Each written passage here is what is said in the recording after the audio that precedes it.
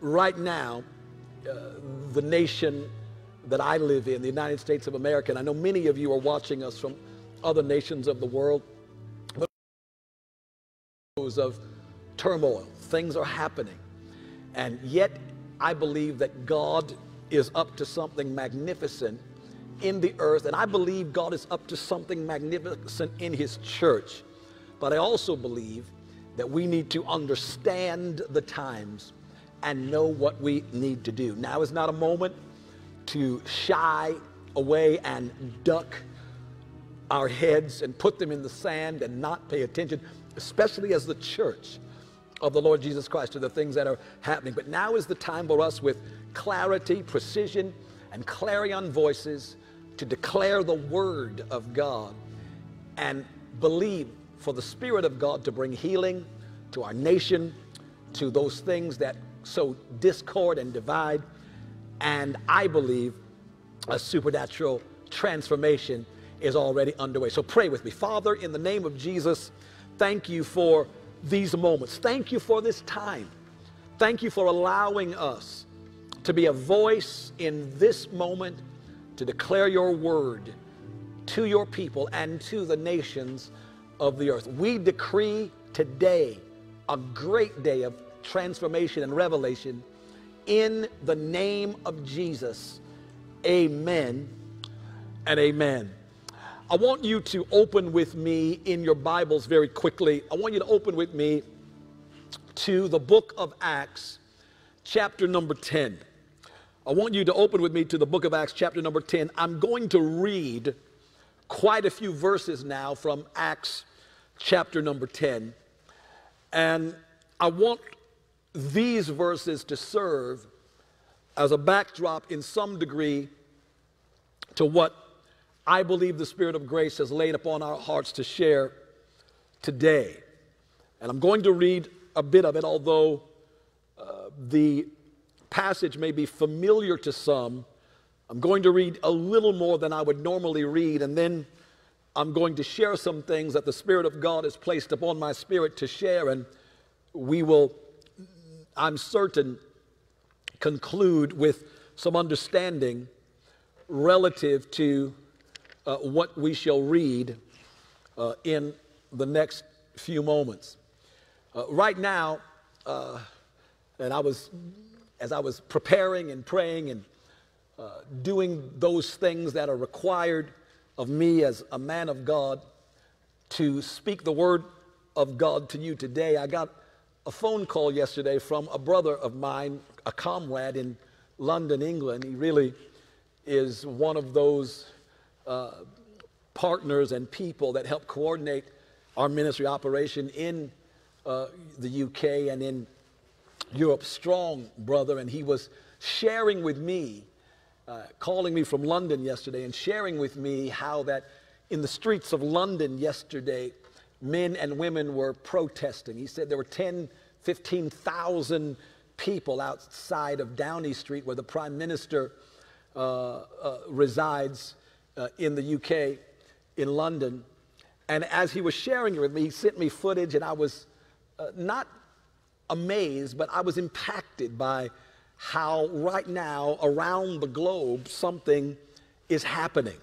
Uh, and something is happening that initiated and centered in the United States of America, but it's larger than the United States of America, although the United States is partly responsible for it, uh, not only for the issue that has arisen, but I believe is going to have to be in some degree responsible for bringing the answer. And I believe the church of the Lord Jesus Christ must be a part of that answer. If there is something that has become very clear, and I'm going to read in just a moment, but I want you to pay attention to what I'm saying. There's something that's become very clear to me. It is that every individual who cares about what is happening in the earth right now must take a stand and whatever realm of endeavor or responsibility they are in, if they really want to see change and transformation come, they must approach that change and transformation from wherever they are set, from whatever realm or field of endeavor. Well, I am a bishop in the Lord's church. I am a churchman. I was raised in this, not professionally. I was called of God. And as a man called of God in this moment, as a prophetic voice in this moment, I cannot pay attention to what is going on around me and not speak the word of God into it and speak the word of God to it. And the prophetic function is a, is a, is a it's an interesting function because there are times when you must say things that uh, comfort the afflicted uh, and then there are times that you must also say things that afflict the comfortable.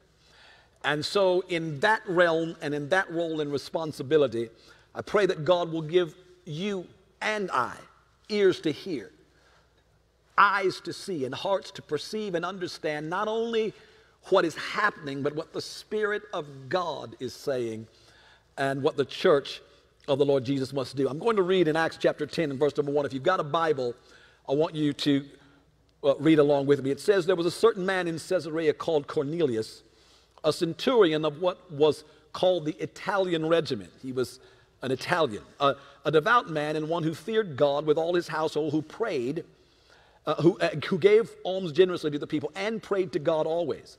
About the ninth hour of the day, he saw clearly in a vision an angel of God coming in and saying to him, Cornelius. And when he observed him, he was afraid and said, What is it, Lord? So he said to him, Your prayers and your alms have come up for a memorial before God. Now send men to Joppa and send for, send for Simon, whose surname is Peter. He is lodging with Simon, a tanner, whose house is by the sea. He will tell you what you must do. And when the angel who spoke to him had departed, Cornelius called two of his household servants and a devout soldier from among those who waited on him continually. So when he had explained all these things to them, he sent them to Joppa. The next day, everybody say the next day. The next day, as they went on their journey and drew near the city, Peter went up on the housetop to pray about the sixth hour. When he became, then he became very hungry and wanted to eat. But while they made ready, he fell into a trance. This was a prophetic trance, a vision. And he saw heaven opened and saw an object like a great sheet bound at four corners descending to him and let down to earth. In it were all kinds of four footed animals of the earth, wild beasts, creeping things, and birds of the air. And a voice came to him Rise, Peter, kill and eat. But Peter said, Not so, Lord, for I have never eaten anything common or unclean. Now, I want you to get it because he's having a vision, a supernatural vision. And in the vision, he sees that which appears unclean to him. And the voice tells him to eat, but he says, No, I've never eaten anything common or unclean. And a voice spoke to him again the second time, What God has cleansed, you must not call common. This was done three times, and the object was taken up into heaven. Now, I want you to, to stay with me. Now, while Peter was while Peter wondered within himself what this vision which he had sent meant, which he had seen meant, behold, men who had been sent from Cornelius had made inquiry for Simon's house and stood before the gate. And they called and asked whether Simon, whose surname was Peter, was lodging there. While Peter thought about the vision, the Spirit said to him, Behold, three men are seeking you. Arise, therefore, and go with them, doubting nothing for I have sent them. Now, if you know anything about this story, and I know I'm reading a lot, but it's very important. I cannot take for granted that anybody fully understands. If you know about this, you know that Peter goes down to Cornelius' house and he preaches. I want you to go down to verse number 34. I want you to go down to verse number 34. So these men come, they take Peter, the apostle, to Cornelius' house. And when Peter gets into the house, that's where we come in now at verse 34. Then Peter opened his mouth and said, In truth, I perceive that God shows no partiality. But in every nation, whoever fears him and works righteousness is accepted by him. The word which God sent to the children of Israel, preaching peace through Jesus Christ, he is Lord of all. That word you know, which was proclaimed throughout all Judea and began from Galilee after the baptism which John preached. How God anointed Jesus of Nazareth with the Holy Spirit and power, who went about doing good and healing all who were oppressed of the devil, for God was with him. And we are witnesses of all these things which he did. I want you to go down to verse number 44. While Peter was still speaking these words, in other words, while he was still preaching, the Holy Spirit fell upon all those who heard the word. And those of the circumcision who believed, now those of the circumcision, that means they, these were Jews, and those of the circumcision who believed were astonished, as many as came with Peter, because the gift of the Holy Spirit had been poured out on the Gentiles also. For they heard them speak with tongues and magnify God. Now, I read that to you for a reason. I, I read those passages to you and I read it in, in, in its entirety to you for a reason. Because this passage brings to bear from revelation of the scripture an issue, quite frankly, that I think we in the church, and especially the church in the United States of America, but really the church globally, must now begin to understand and deal with. It brings to light a reality that I think many of us in the church of the Lord Jesus Christ have not truly processed and truly understood. And I believe that our lack of understanding, processing, and realizing it is part of the reason that we are dealing with some of the issues in our nation regarding race and ethnicity. And I'll use the term race because it is the colloquial expression but it is not a factual expression.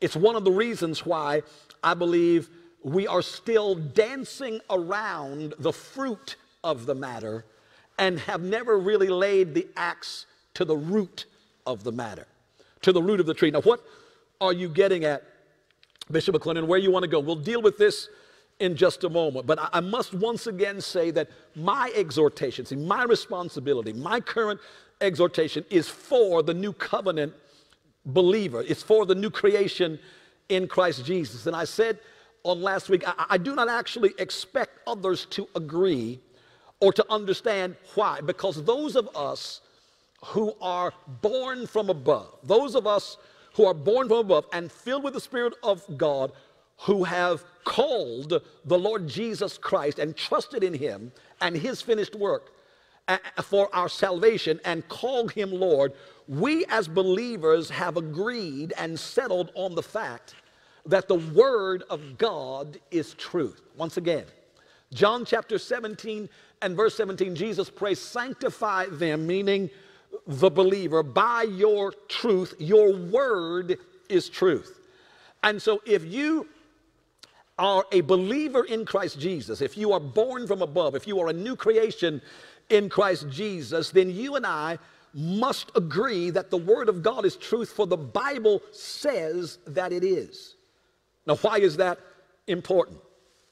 Because what the scripture reading I just read to you bears out is very relevant to what the nation and the nations of the earth are dealing with right now. We, especially here in America, we are a nation right now that is wrestling with our inability to reconcile ourselves to an historical lie. Now, what do you mean by that? Uh, we, are, we are a nation. You look at what is going on in, in the streets of the United States of America and you wonder what's going on. We are a nation that is wrestling with our inability to reconcile ourselves to a historical lie. And because the church in America has not refuted the lie and has accepted the terms uh, of the erroneous narrative, she has been powerless to assist in providing an answer. I'm going to say that again because the church of the Lord Jesus Christ has not refuted the lie of racism, has not refuted the lie of race. Because she has not refuted it and has accepted the terms of the current narrative, she has found herself powerless to actually provide an answer. Now, what do you mean by that? I want to show you a couple of scriptures. Go to Matthew chapter 5. Matthew chapter 5, very quickly. I want you to see this. Go to Matthew chapter 5 and verse number 13. Matthew chapter 5. I want you to see this. Matthew chapter 5 and verse number 13. In Matthew chapter 5, verse number 13, Jesus says something powerful, something powerful that we have repeated in our pulpits, but I'm not sure that we have fully fathomed what it is that Jesus is saying. He's saying now to his followers, and he said to them, You are the salt of the earth. But if the salt loses its flavor, how shall it be seasoned? It is then good for nothing but to be thrown out and trampled underfoot by men. Then he goes on to say, You are the light of the world, talking to the church now. A city that is set on a hill cannot be hidden, nor do they light a lamp and put it under a basket, but on a lampstand, and it gives light to all who are in the house. I want you to hear what Jesus just said. He was talking to his church, and here's what he's saying He's saying, You are the salt of the earth. Now, once again, when Jesus is speaking to the church about being the salt of the earth, salt was not simply used for flavoring, it was used as a preservative. Salt preserved meat. They didn't have refrigeration and freezers, so salt was used as a preservative. So the people who heard Jesus talking to them, and this is an exhortation to his followers you are the salt of the earth. He, he, he's, they are understanding him to say that you're not only here to flavor the planet, you are here to preserve it. You are here to do something more than just participate in the status quo. Get it?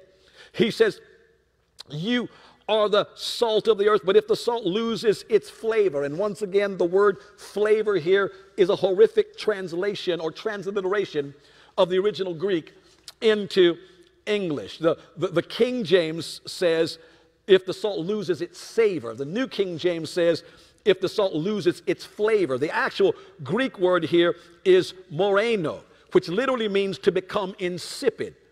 The word insipid means to lack interest, to lack significance, or to lack impact. Hear what Jesus says. He's saying, You, I've left you here to be the salt, the preservative of the earth. But if you, church, if you lack interest in what is going on around you, if you do not recognize that what is happening around you is significant, if you don't take a significant role, if you don't make an impact, if you become passive, he says, watch this. He says, if the salt loses its significance, if you begin to lack interest, if you begin to lack impact, watch this, how shall it be seasoned? He's not talking about reflavoring the salt, he's talking about the earth. He said, You are the salt of the earth. But if you lose your significance, if you fail to have a voice, if you do not prophetically speak into what is going on, somebody else will season it.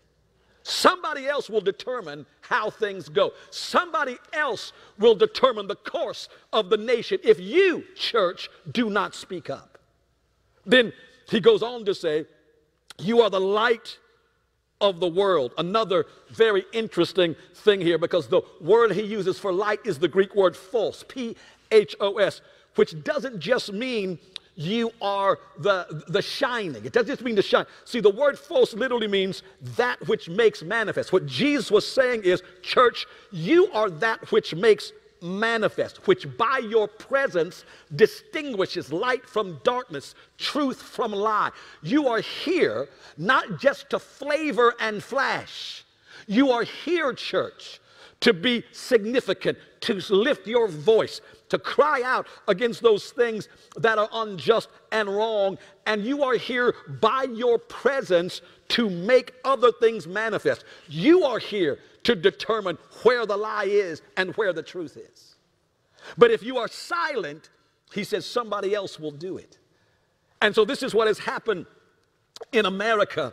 Someone else has been determining the narrative, and the church for too many years has been silent on this issue. You said, Bishop McClendon, you said, uh, we are a nation uh, that is wrestling with our inability to reconcile ourselves to a historic lie. What lie is that? It is the lie of race. It is the lie that we are different because of color. And I said this last week, and it bears repeating. Leviticus chapter 17, verse 11 says, The life of the flesh is the blood.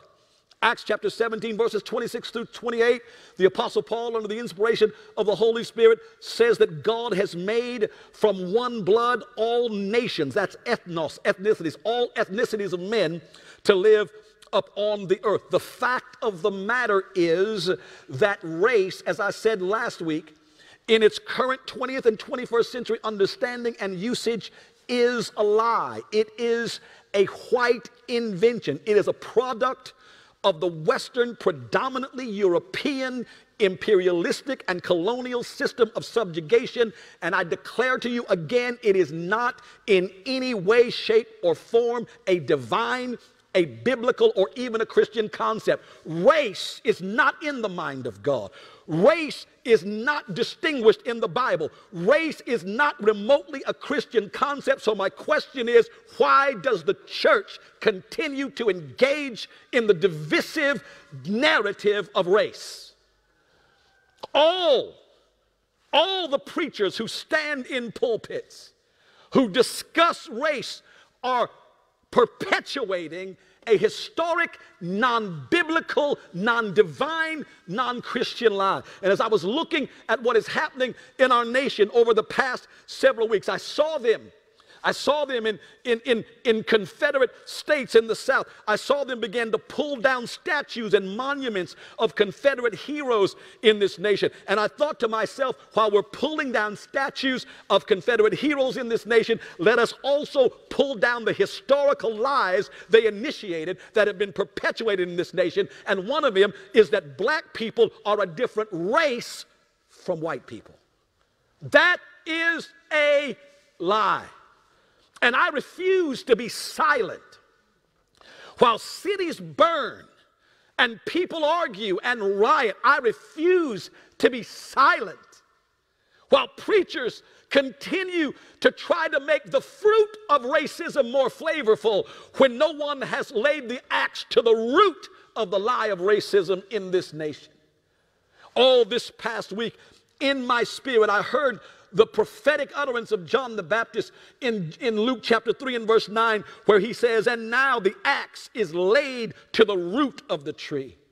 Jesus said in Matthew chapter 15, verses 12 through 15, every tree that my heavenly Father has not planted that's not producing good fruit is going to be cut down. And I declare as a prophet of God, it is time to cut down the lying tree of racism that has divided people in this nation. And it is time for the church, it is time for preachers of the Lord Jesus Christ to stand up and say, there is no such thing as a black race and a white race, there is one race. It is human. And within that human race, there are ethnic diversities that God has ordained to bring a flavor, if you will, to the existence on earth and not distinction. Now, some would say, Bishop McClendon, once again, I don't get it.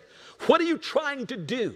Why would you make such a point? Well, anyone who understands God's word and, and all the pastors and teachers who understand the integrity of God's word and they teach us that it matters what you say. Your words have power. You create your world with your words. We have applied this to everything but this. And we keep speaking it, and we keep speaking it, and we keep speaking it. And I declare that the mere entertaining of the seduction to continue to debate it will produce no long lasting results. It hasn't. Think about it.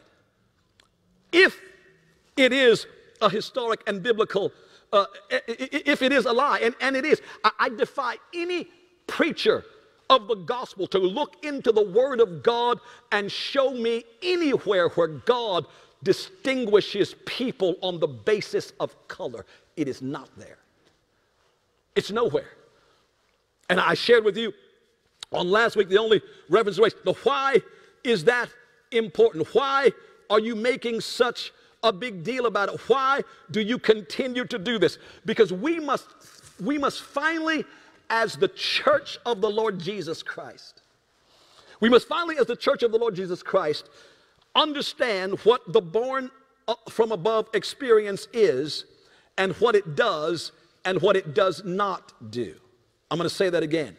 We must finally reconcile ourselves to the born again or born above from above experience and determine what it does and what it does not do. We must understand that to be born again or to be born from above is a transformation of the spirit. When you are born again, your spirit man is reborn.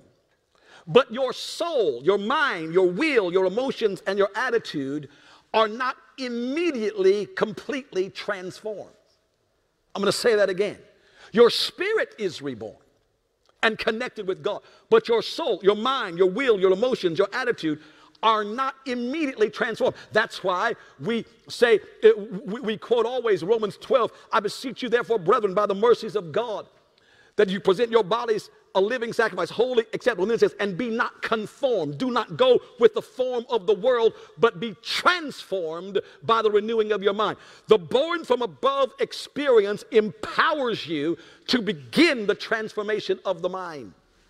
It empowers you to begin to see things as God sees them. Now, why is that important? Because once the Spirit is born again, the mind has to be renewed to the Word of God, and then the body has to come into the, uh, the submission to the born from above Spirit and the renewed mind, will, emotions, and attitude. Why is this so important for us to understand. Because when you understand this, then you also understand how good, well meaning Christian people. Now, what are you getting at, Bishop McClendon? You understand how good, well meaning Christian people who were born again, who trusted God, and who articulated a faith in God, could still make errors in their articulations and in their judgments because their mind was not renewed to God's word. Now, I'm going to say something that people are going to go up in arms about. But because uh, our founding fathers and the framers of the Declaration of Independence and the Constitution of the United States were predominantly men of faith, and indeed, this nation, the United States of America, was founded upon a principle for seeking religious freedom, their governing principles, their governing premises, their governing conclusions and constructs have been accepted as acceptable. Yet, when it comes to the moral, ethical, and equal treatment of the men and women they brought to this nation from the African continent and enslaved, they canonized and codified into law an immoral, unethical, and unacceptable lie, reducing black men and black women to property and to three fifths of a human being, thus creating another race, a people to be bought and sold and owned. And so the same men who penned the words in the Declaration of Independence, we hold these truths to be self evident that all men are created equal that they are endowed by their Creator with certain inalienable rights, and among these are life, liberty, and the pursuit of happiness. The same men who wrote that also codified and canonized in their Constitution that the men and women that they brought over from Africa and enslaved were three fifths of a human being. And in the law, they said that five slaves equaled three free people. This is, this is codified in law. Look, look in, in, in the, the, the, the, drawings of the constitutional amendments of 1787, and you will find this three fifths law that slaves were three fifths of a human being. And there is where a distinction in race was created. Because, as I said before, you cannot pin those words and then, with a good Christian conscience enslave another man or woman unless you first reduce them to being something less than human, something less than you. You create another race, and then you can, with a good Christian conscience, go to bed owning other men and women. So you create the lie. You create another race so you are comfortable in your Western European imperialistic Christianity. Now, you say, Bishop McClendon, how dare you speak that way about the founding fathers? I'm just reading what they wrote. And the fact of the matter is that they're Christian. And some would say, uh, uh, uh, sh- uh, uh, show it to me, uh, put it up, put it up on the screen. This was the three fifths compromise the three fifths compromise of 1787, where it says a slave, the three fifths compromise uh, and, and, and, and what happened here, this was actually an articulation because they were trying to decide how the states, at this time, the 13 colonies or states would be taxed. And they were trying to figure out how they would get representation for presidential elections. And because the southern states had so many more people, because they had slaves. The northern states didn't want the southern states because they were slaveholders to have a larger population and therefore get larger representation in Congress and more votes to vote for president. So the creation of race was economic. It was about property and power, not about people. And so the Three Fifths Compromise went to say a slave was both person and property. Only three fifths of the slave population in the state would count towards state population in a census. For the census count, five slaves equal three people. And so another race was created. Now I declare to you that one of the reasons that the Christian church in the West has lost its power and its influence, has lost its integrity with a generation of people who neither know your God nor care about your forefathers is because this lie has been perpetua- perpetuated in pulpits by white preachers and black preachers alike, and it's time to pull the lie down. It's time to pull it down. Why? Why is this so important? Why are you screaming at the top of your lungs? Why? Because the Bible is clear that when brethren dwell together in unity, there God commands the blessing. And when you and I start discussing our differences based on the fact that we are one race with diverse ethnic persuasions, now I am not less than you, and you are not more than me. And as I said last week, without condescending or taking anything away from the Black Lives Matter movement because they have forced a conversation, the issue is not whether Black Lives matter. The issue is are Black lives equal to you? Because until we are equal, until until we come to the table. I was listening this past week and reading again the words of the great prophet Dr. Martin Luther King. And one of the reasons why the dream of Dr. King has not come more into fruition is because he was not merely a civil rights leader, he was a prophet of God. And people have not understood him as a prophet. What did he say? He said that one day black men and white men would sit down at the table of brotherhood. Where is the table of brotherhood? It is not in Congress. The table of brotherhood is not in the Senate. The table of brotherhood is not in the White House. The table of brotherhood is in the church. Where you and I, once we are born again, become brothers and sisters, a holy nation, a hagios ethnos. You say, Bishop McClendon, you are preaching from a dreamland. No, I'm preaching from the world you were born from. And I'm preaching the truth that your God has articulated in the scripture that we have conveniently overlooked. Why is this so important? And what, Bishop McClendon, does this have to do with the Apostle Peter? Here's what we must understand that our Christianity and the Christianity of our of the forefathers of this nation, we've got to understand this is our Christianity does not immediately purge us of our historically inherited bigotries or our deeply rooted traditional perspectives. See, here is what we have believed. Because I am born again and you are born again, and I'm filled with the Spirit of God and you're filled with the Spirit of God, we are immediately completely freed of our traditional bigotries and our traditionally inherited perspectives. But the Bible demonstrates that not to be a fact. The Apostle Peter was the man who, on the day of Pentecost, stood up, a born again, spirit filled man. A born again, spirit filled man who stood up on the day of Pentecost and preached a message where people of different ethnicities received the word of God and were born again. After that, the church in Jerusalem begins to grow.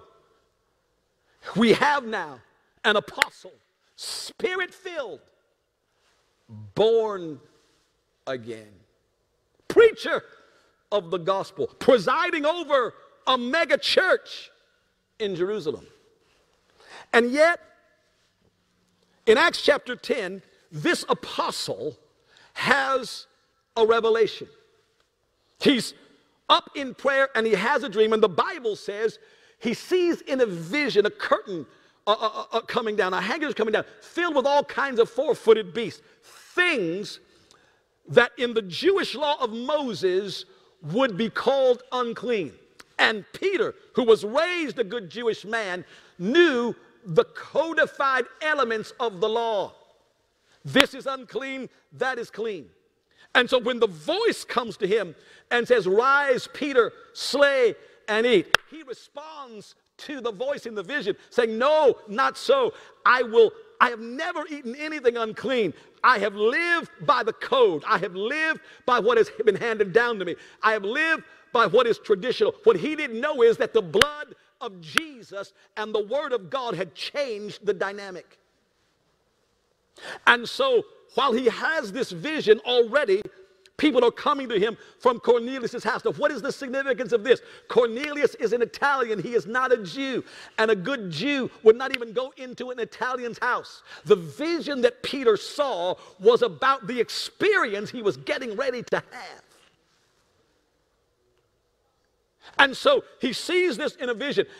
And the Spirit of God, as he talks about the vision, as he thinks on the vision, says, When these men come, go with them and don't doubt anything. And so Peter goes with them. And then he goes to Cornelius' house. Cornelius is an Italian, Peter is a Jew. And he goes to Cornelius' house and he begins to preach.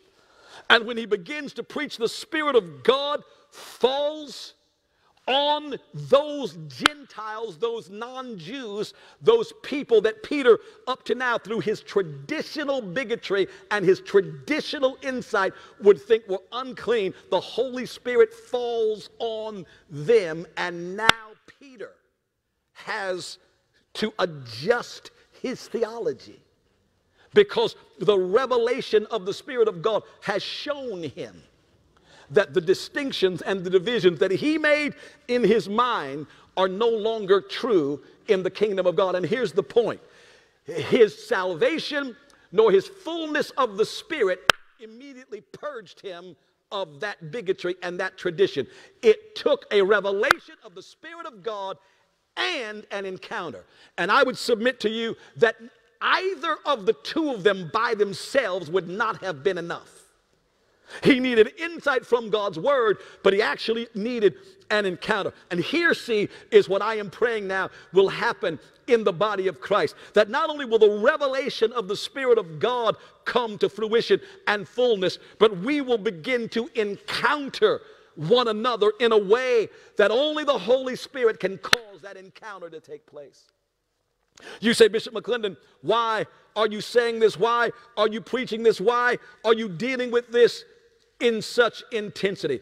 Because the reality is that now the axe is being laid to the root of the tree. It is clear that we will no longer be able to just deal with the fruit of the lie of racism. We now have to get to the root of the lie of racism. I was reading once again here recently the words of Dr. King, and I will quote them. This has been quoted so many times in the last two weeks. Everybody that I, everybody that I've seen of uh, the African American persuasion has quoted this, but we've all only quoted a part of it. I wanted to go back and reread it again because, again, it is a prophetic utterance. And Dr. King said certain conditions continue to exist in our society, which must be condemned as vigorously as we condemn riots. But in the final analysis, and this is the quote, a riot is the language of the unheard. And what is it that America has failed to hear? It has failed to hear that the promises of freedom and justice have not been met. And it has failed to hear that large segments of white society are more concerned about tranquility and the status quo than about justice, equality, and humanity. And so, in a real sense, our nation summers of riots or protests or protests and riots, whatever you call our, our nation's summers of riots are caused by our nation's winters of delay. And as long as America postpones justice, we stand in the position of having these recurrences of violence and riots over and over again. Social justice and progress are the absolute guarantors of riot prevention. Now,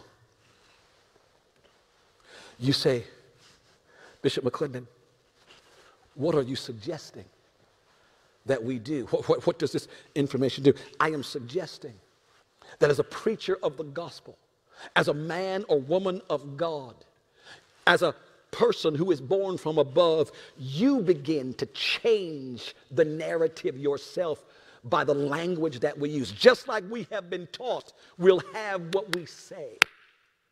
Just like we have been taught the power of our words, just like we have been taught to create the world that we want with the words we speak, we must now begin to change our language, and preachers must not try to get people of the white race to deal with people of the black race. We must proclaim there is one race and that is human.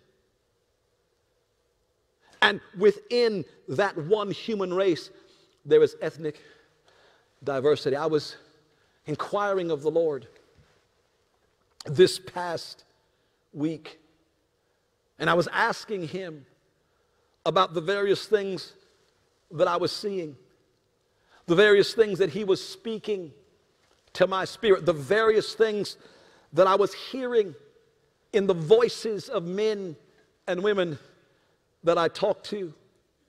And one of the things the Lord ministered to me very clearly is He said, Son, people are grappling for the answer. They don't even have the tools with which to begin to communicate. You see, the fact of the matter is, and I'm getting ready to pray, so I want you all to get ready. I'm getting ready to pray because we're going to take authority over something in the name of Jesus. But I want you to hear me. The Lord said to me, He said, just like to settle a dispute, please hear me. He said, he said just like if you're going to settle a dispute, you must come to terms. You must qualify the terms to settle a conflict. We call it a treaty, we, we call it uh, an armistice. Just like you must qualify terms to settle a dispute. He said, you can't even have a discussion until you qualify the terms. Until we are speaking the same, there's no need in trying to fix the issue. And I said, Lord, help me to understand this. And, and, he said to me, He said, Son, debating race and trying to come to a conclusion about it would be like debating what the square footage of the flat earth is. We all know the earth is no longer flat. So even if you win the argument of the square footage, you have come no closer to the truth.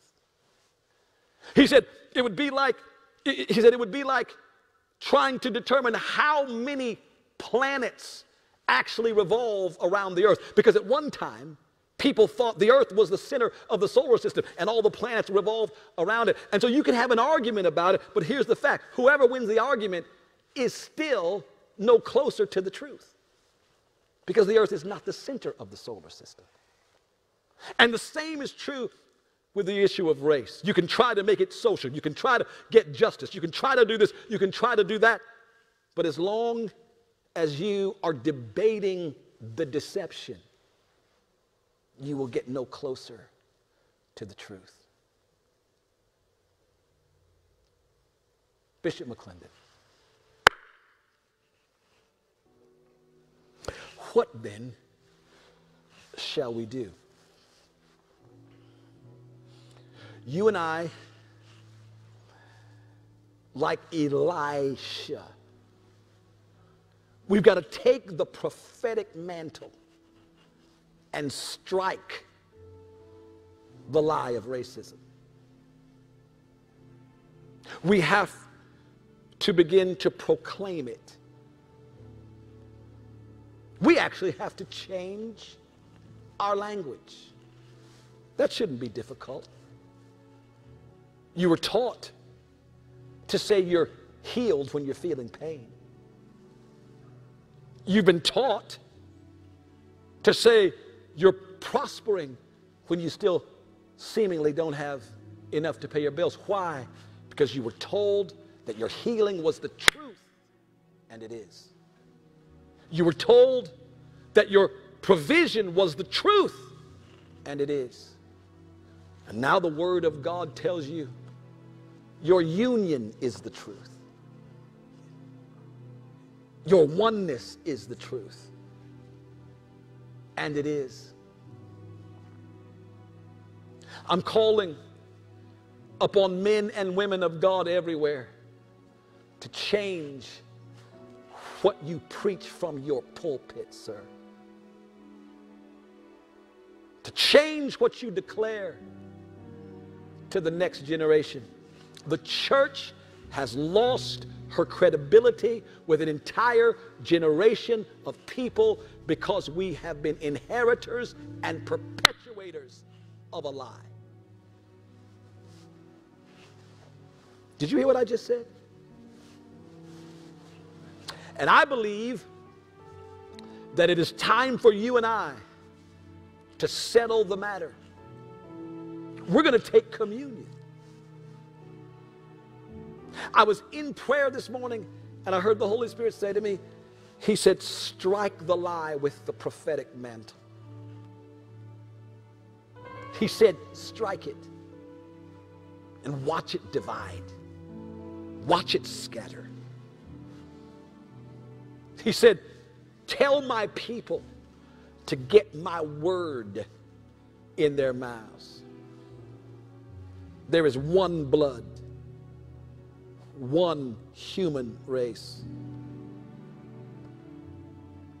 And I promise you, I will not entertain the conversation in any other dimension, no matter where I am. Because you shall know the truth, and the truth shall make you free. You say, Bishop McClendon, what about what is happening in the society?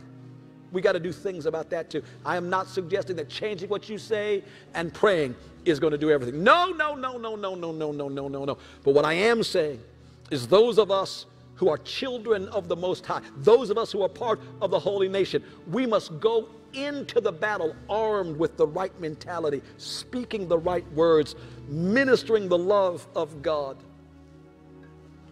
I'll never forget years ago, I was invited to a dialogue on in the church on what they called racial reconciliation.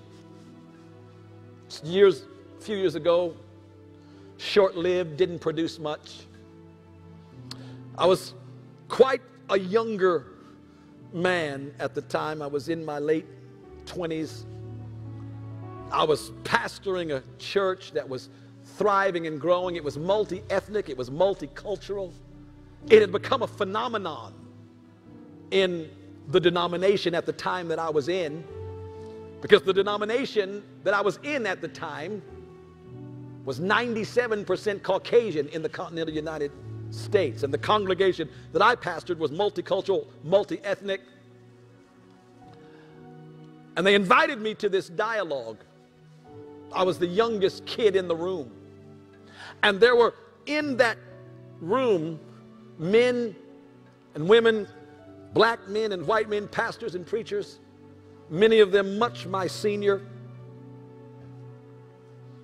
I remember going into the room and asking the Lord, What am I doing here? He said, Just sit, listen, don't say anything until I tell you to say something. That's what I did. I heard the dialogue, I heard the debate.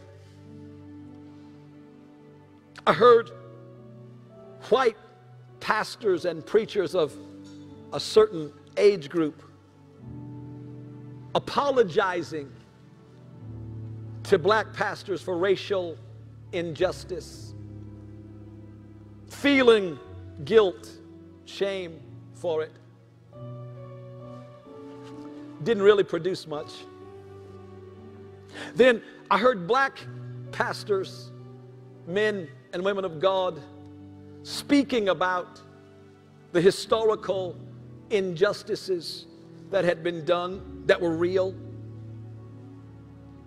And there was a sense in the dialogue, and if I called some of the names, you'd know some of the names that were in the room. I will not call the names. There was a sense of the dialogue from those pastors that the, the, the white pastors who may not have necessarily been a part of the injustice owed them something. And I remember sitting there silent in my late 20s watching the conversation go back and forth. The Lord brought this up to me in the last week or so. And He said to me in my spirit, He said, This matter will, be, will never be settled in this generation. I said, Lord, why? He said, Because as long as white men feel guilty and black men feel like they're owed something, there will constantly be a conflict. He said, But when men and women understand that I am the reconciler, it doesn't mean that the injustice hasn't been done. But you don't owe me anything.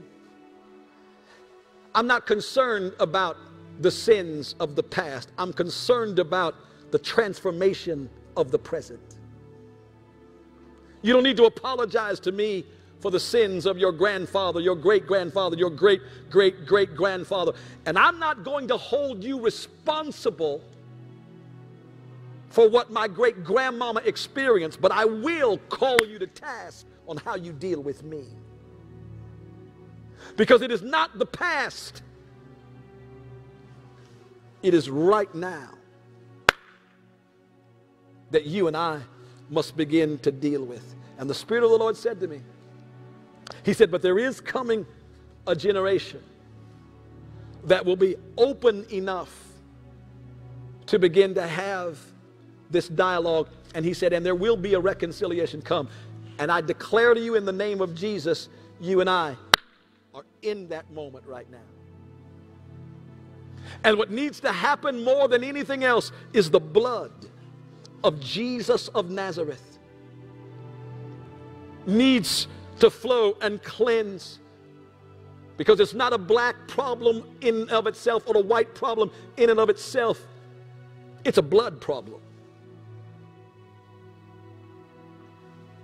You say, Bishop McClendon, you are oversimplifying. No! There's so much more to be done. But it has to begin at the table of brotherhood. And that is the church of the Lord Jesus Christ. I want you, right where you are, I want you just to begin to lift your hands. If, if the word of God has come to you, if you heard anything in my voice that resonated with you, then I declare to you that it was not Clarence McClendon ministering to you, it was the Spirit of God. If truth has been revealed to you in any way, shape, or form, if you, sir, if you, ma'am, have heard anything of the Spirit of God, then I want to pray. No, I do not deny the years of social injustice. I, I, I don't deny the inequity. It is real, it exists, and it has affected men and women with anger and sorrow. It has disoriented them, it has caused bitterness. But I declare in the name of Jesus that the blood of Jesus of Nazareth transforms. And yes, there is evil that has been perpetrated. Yes, absolutely. I don't deny it. And without the Spirit of God, you look at it, it will anger you and cause you to retaliate. But if you are a man or woman of the Spirit, then God is calling you and I to respond from the truth of the Word and respond from the Spirit. I said it Last week, when Jesus told you to turn the other cheek, he was not telling you to let somebody hit you on both sides of your face. He was saying, if you get struck here, then turn the part of you to the individual that has not been struck. You can respond from the Spirit. You can respond in love. You can respond out of the Holy Ghost. And no injustice, no inequality, no inequity can stop the power of the Spirit of God from flowing on the inside of you and changing a thing. I'll never forget when I realized that with the power of the Spirit of God, nobody could keep me down. Nobody could shut a door. You shut a door for me, the power of God will open it. You try to keep me out of it, God will take me in another way. And I'll wave at you from the inside because you can't keep me out of anywhere my Father wants me. Glory to God forevermore. You can't stop me from rising when the greater one is on the inside of me. And you try to kill me.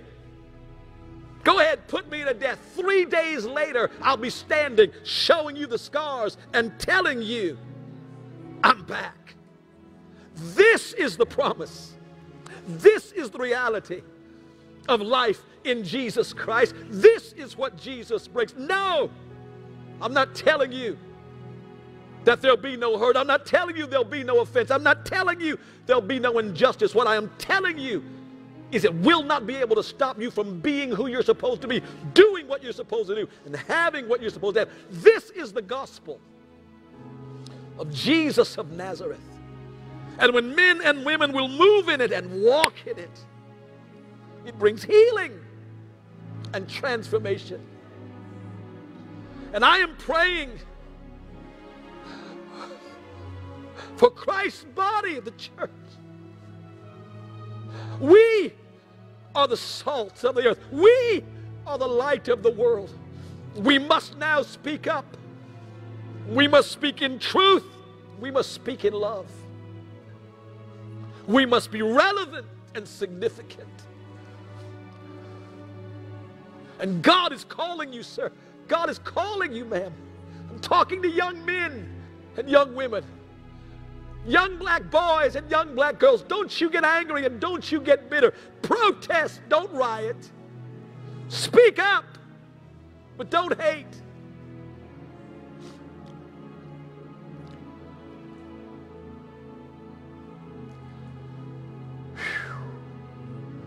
The Spirit of God will bring healing to this matter if we will stand on His word. But I will not entertain the lie another day. I will not preach to people they are different races when God has made them one. And you can like me or dislike me, and I defy you, scholar, skeptic, you look into the Word of God, you show me anywhere where God makes distinctions in race on the basis of color. It's not there. And if you hear this word and continue to preach it, sir, you're a liar. Ma'am, you're a liar.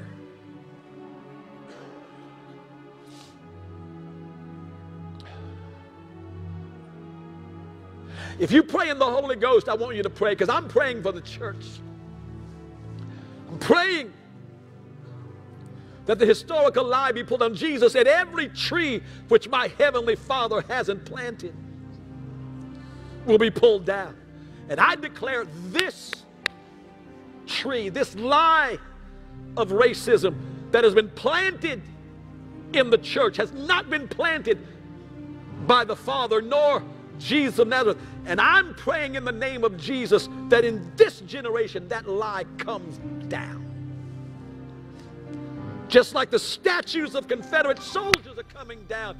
I want the lies they perpetuated, the lies they instituted, the lies that have sown division and discord, the lie that allows one man to put his knee on the neck of another man and watch life drain out of him because he somehow believes he is not his equal. I want that lie put to death.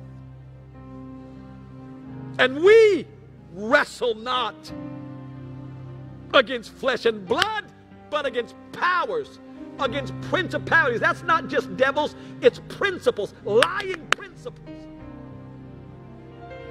Principalities against rulers of the darkness of this world, against spiritual wickedness in heavenly places. And the Bible says that the weapons of our warfare are not carnal, they're mighty through God to pulling down strongholds, arguments, postulations that have endured for years. We can pull it down.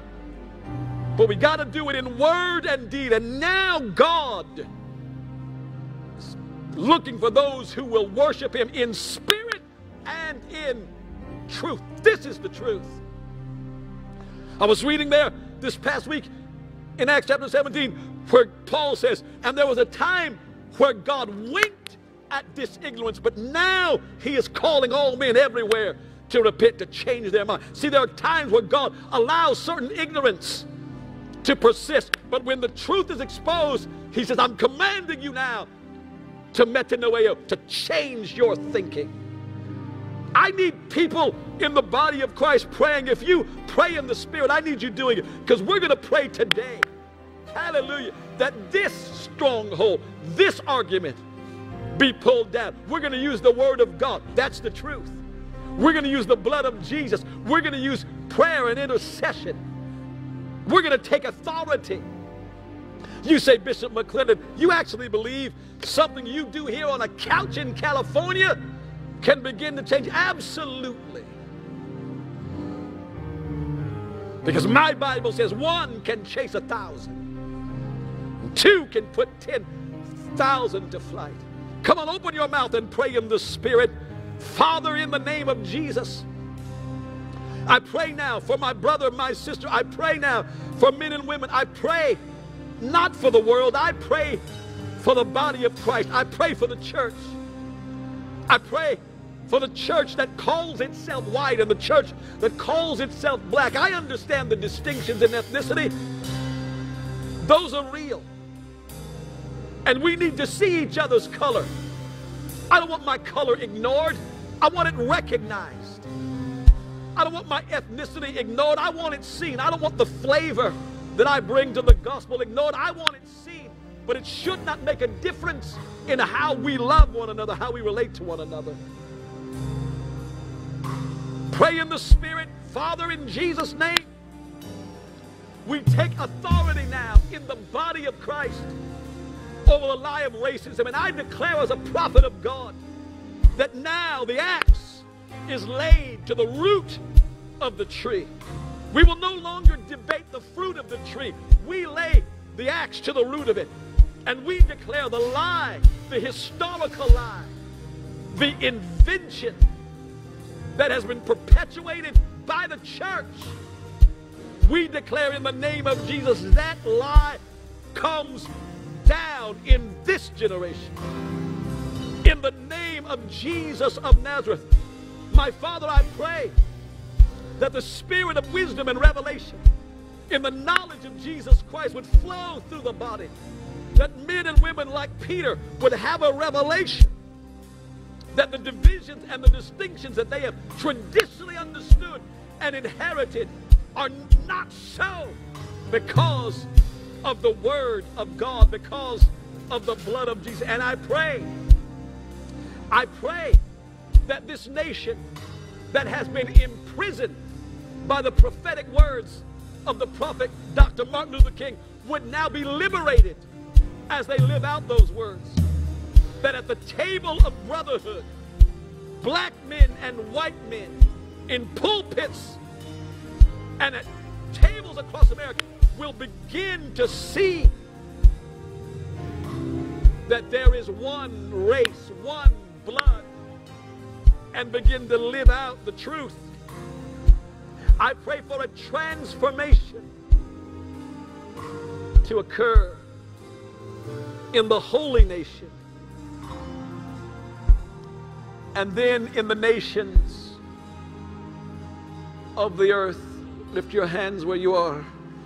If you pray in the Spirit, keep doing it. I'm almost done. Alabo rabase. in the name of Jesus.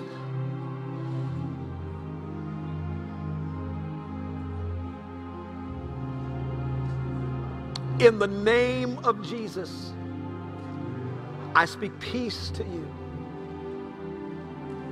I speak healing to you. I speak grace, grace to you. In the name of Jesus of Nazareth, I pray that my white brothers be freed of guilt and shame. And I pray that my black brothers and sisters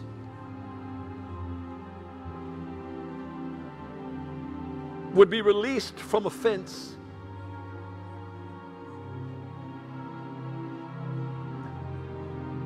No, don't hear me wrong.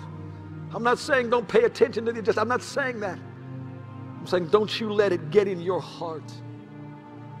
No weapon that is formed against you can prosper. And every tongue that rises against you in judgment is already condemned. This is a part of your inheritance as a son, a daughter of the living God, and your righteousness, your authority comes from Him. Your right to rise comes from Him. Your right to prosper comes from Him. Your right to be who you are called to be and do what you were purposed to do comes from Him. And you have power to tread on serpents and scorpions and over all the power of the enemy. And I declare to you, you new creation, you nothing shall by any means harm you. In the name of Jesus. Now, my Father, as we take communion, I'm asking that the healing balm will begin to flow through your body. Whatever men and women are believing, trusting, let it be so. Take the bread in your hand. Take the bread in your hand.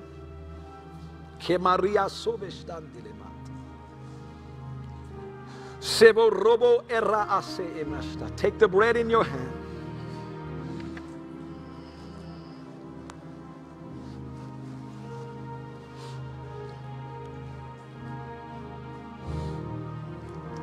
I asked the Lord today, I said, Lord, you really want me to preach this message?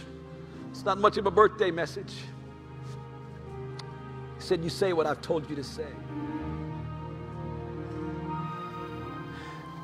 Now we're going to settle a matter.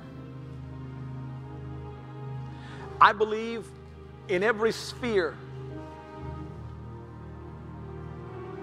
in the church, in politics, in law enforcement, in business, in economics, in music. I believe in every sphere and realm,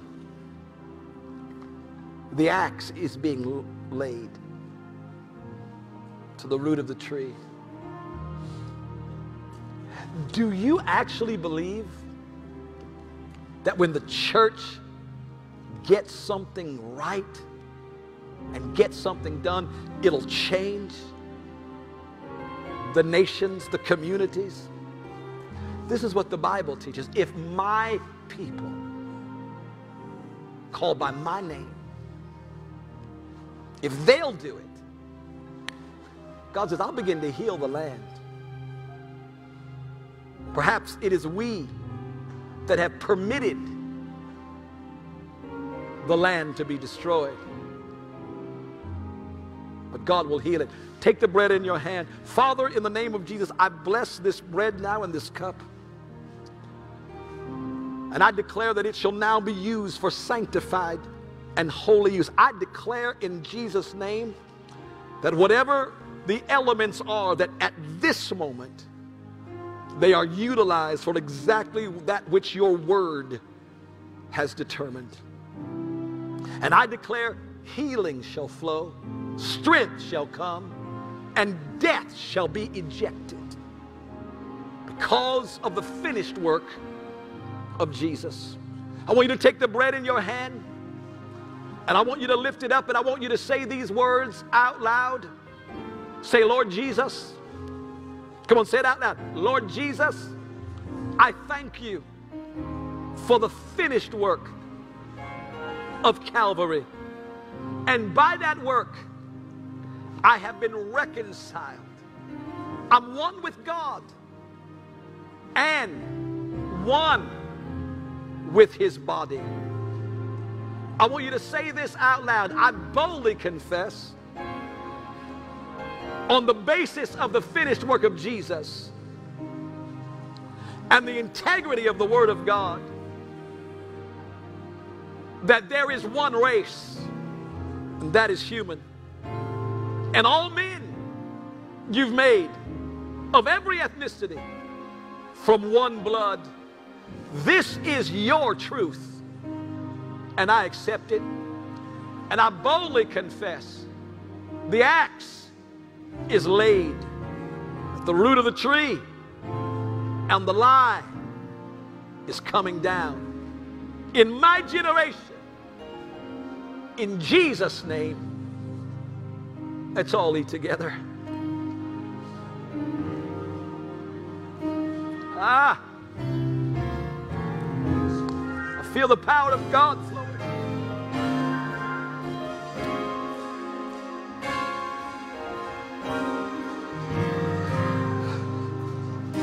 Take the cup in your hand. Lift it up.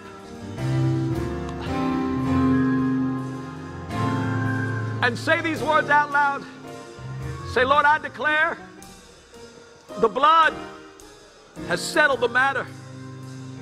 I declare the blood has remitted all sin. And though there be injustice, and though there be inequity, because of the blood, no weapon formed against me can prosper. This is a part of my inheritance. I receive it. Now, want you say this out loud. I will not allow any offense to enter in my heart. I reverse every curse. I speak the blessing. And I walk in love. In the name of Jesus, let's all drink together. Lord, we ask the lie come down. Lift your hands where you are. Just worship. Worship the Lord with me just a moment.